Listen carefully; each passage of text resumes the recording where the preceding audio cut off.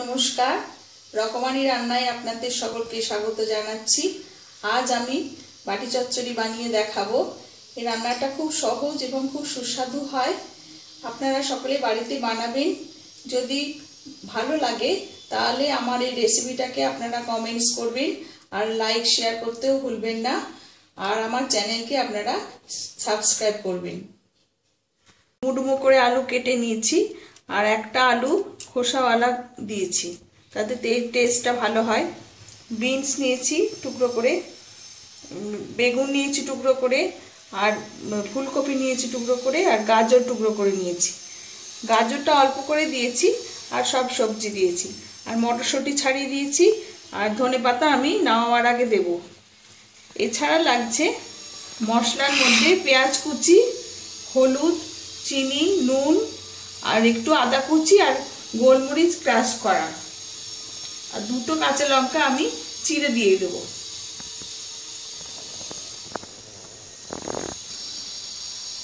প্রথম গ্যাসটা জেলে দিয়েছি। আমি প্রথমে আলু দিয়ে দিচ্ছি।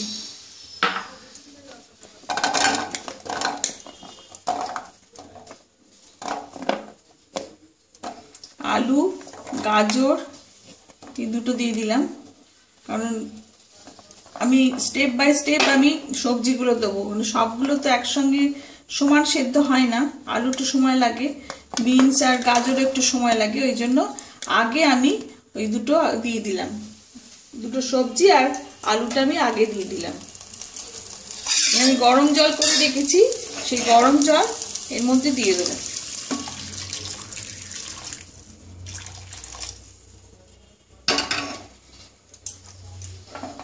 অল্প করে গরম জল দিলাম।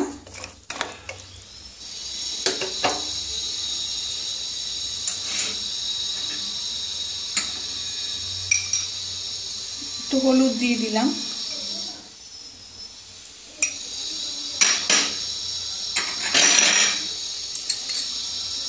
নুন দিলাম।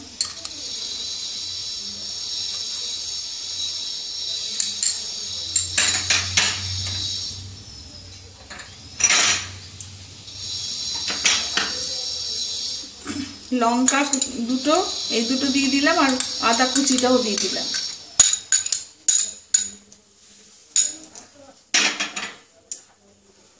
পেঁয়াজ কুচিটা দিলাম।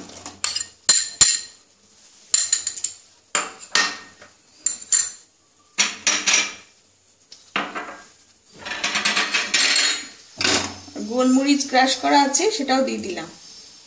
শুধু আমি চিনিটা এখন দেবো না, আর সবজি দুটো ফুলকপি আর বেগুন, এই সবজিগুলো আমি একটু পরে দিচ্ছি। খানিকটা অর্ধেকটা এটা হয়ে যাবে, তখন আমি দেব।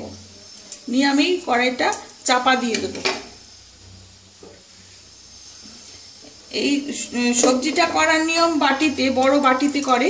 তো বড় বাটির থেকে আমার এই সবজি এটাতে করা আমার সুবিধে মনে হলো, তাই আমি কড়াইটাই আমি নিয়েছি। কড়াইটা খুলে দেখছি।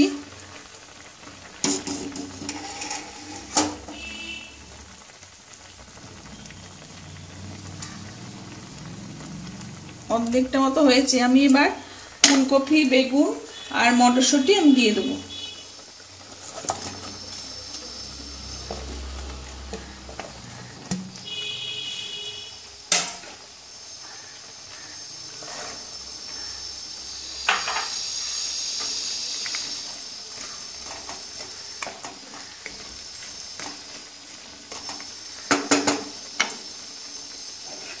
আর একটু সামান্য জল দিচ্ছি।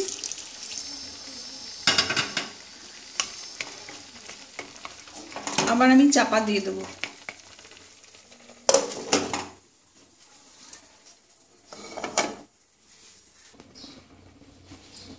এবারে খুলে আমি আবার দেখব, হয়েছে নাকি? আরও হবে।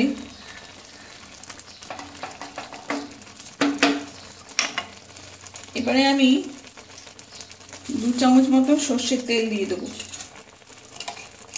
দু চামচ কি, তিন চামচ সর্ষের তেল দেবো।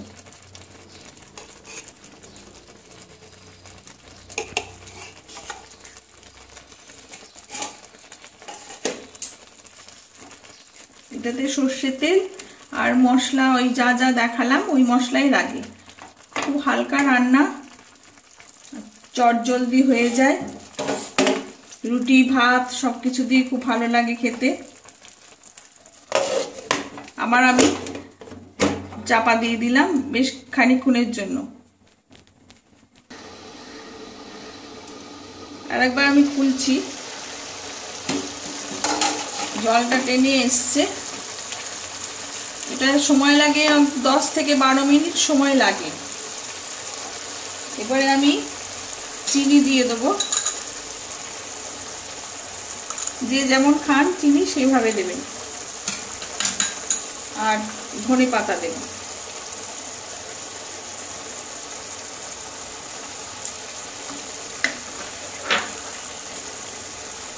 আর একটু চাপা দিয়ে আমি গ্যাস বন্ধ করে দেবো আর এক মিনিট মতন হবে আমি গ্যাস বন্ধ করে দেবো আমার মনে হয় হয়ে গেছে। এটা রান্নাটা জল একদম শুকিয়ে গেছে। আমি গ্যাস বন্ধ করে দিলাম। এবারে আমি নামিয়ে দেব তৈরি হয়ে গেল বাটি চচ্চড়ি এটা সকলে বানাবেন বাড়িতে, খাবেন, খেয়ে জানাবেন আমাকে কেমন হলো। আমার রেসিপিটা আপনারা লাইক শেয়ার করবেন আর আমার চ্যানেলকে সাবস্ক্রাইব করবেন।